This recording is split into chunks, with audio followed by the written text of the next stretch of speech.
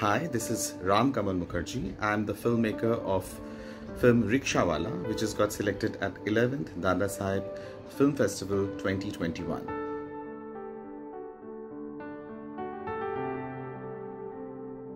Eleventh Dada Saheb film festival में आ, हमारी film जो चुनी गई है रिक्शा वाला उसके लिए I am extremely grateful to the festival director and eminent jury members ये फ़िल्म बहुत ही मेरे एक करीबी फ़िल्म है, क्योंकि ये फ़िल्म को मैंने कलकत्ता में शूट किया है।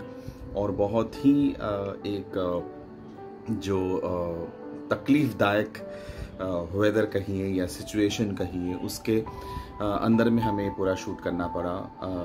So I am grateful to my entire production team my production house Assorted Motion Pictures Aritra Das my producers Aritra Das Sharvani Mukherjee Gaurav Daga Shailendra Kumar, इन सब का मैं आभारी हूँ कि उन्होंने सपोर्ट किया।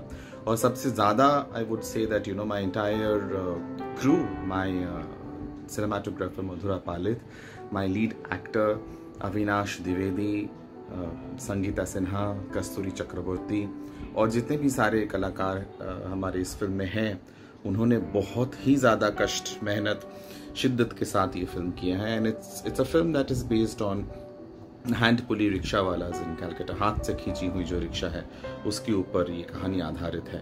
और ये एक ट्रिब्यूट भी है हमारे जो वरिष्ठ अभिनेता ओमपुरी जी। उन्होंने ही was the only actor who played the role of of hand pulley rickshaw wala in international film City of Joy इसके अलावा बलराज सहानी जी ने भी किया है दो बीघा ज़मीन में। बट ये दो कलाकार हैं जिन्होंने हाथ से खींची हुई रिक्शा वाली की किरदार भारतीय फ़िल्म और अंतर्राष्ट्रीय फ़िल्म में किया है। तो इन दोनों को एक ट्रिब्यूट है। एंड आई आई फील कि कोई भी फ़िल्म मेकर के लिए सबसे पहली और सबसे इम्पोर्टेंट बात होती है कहानी। तो जब मैंने ये फ़िल्म बनाने के लिए सोचा था तो ये फ़िल्म बनाने के टाइम पे ही मैंने ये तय कर लिया था कि ये फ़िल्म मेरी अब, पिछली जो फ़िल्में हैं केक वॉक और सीज़न ग्रीटिंग उससे पूरी अलग होगी। This entire film is heavily outdoor बहुत ज़्यादा लोकेशंस हैं इस फ़िल्म में। और इस फ़िल्म की ज़रूरत भी थी कितने सारे लोकेशन पे शूट करना। और कलकत्ता की गली गूंजियों में हमने जा जा जाके शूट किया है। और जो लोकेशंस आप देख रहे हो, सारे रियल लोकेशंस हैं। Nothing was shot in inside a studio everything was real location तो वो सबके लिए चैलेंजिंग था uh, वक्त पे शॉट uh, भी लेना बेहतरीन तरीके से शॉट लेना टेक्निकली साउंड होना uh, ये हमने इसको बहुत प्यार से ये फ़िल्म बनाया है। और अभी ये फ़िल्म काफ़ी ट्रैवल कर रही है बहुत सारे फेस्टिवलों में।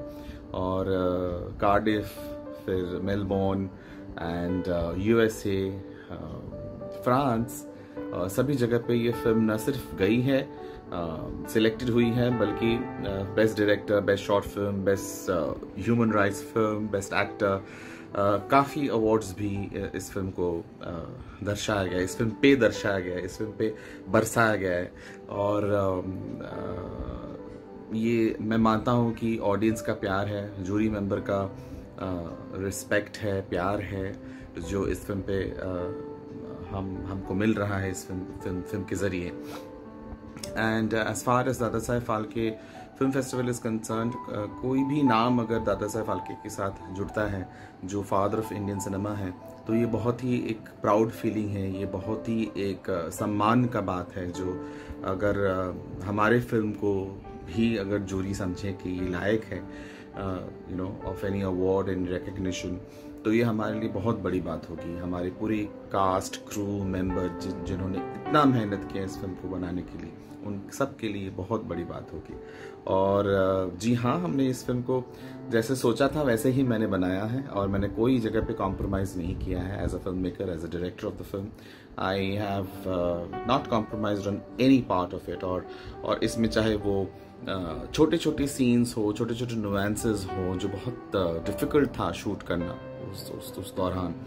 उस वेदर में तक कलकत्ता में बहुत बड़ी बहुत गर्मी थी। धूप में नंगे पैर हमारे आर्टिस्ट को चलने थे रास्ते पे। तो ये सारी जो चीज़ें थी ये हमने कॉम्प्रोमाइज़ नहीं किया है। Our film is also got lovely Bengali rock music which is which is very rare to hear these days in in in in cinemas तो ये हमारे लिए बहुत ही एक गर्व की बात है जो हमने ये फ़िल्म बनाई है और लोगों को पसंद आ रही है। और ये रिक्शा वालों की जो कहानी है, जो एक यू नो हम सिर्फ़ कलकत्ता में ही इस टाइप के रिक्शा देख सकते हैं तो इनकी कहानी कोई नहीं बताते हैं। तो मैंने सोचा कि जिसकी कहानी कभी कोई बताता नहीं है तो वो कहानी अगर हम दर्शकों के पास लेके आएँगे तो शायद दर्शक इसको देखेंगे और इसको समझेंगे और सहानुभूति के साथ इसको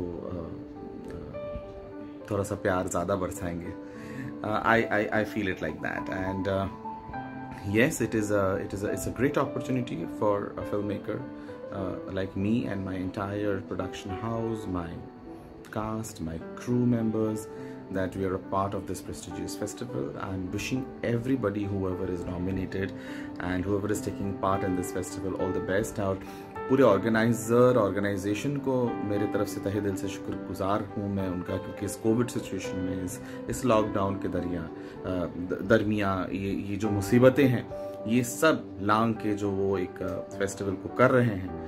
और अप्रैल थर्टी एथ को दादा साहेब फालके की जो पुण्यतिथि है, उस दिन पे ये इसके अनाउंसमेंट होगी।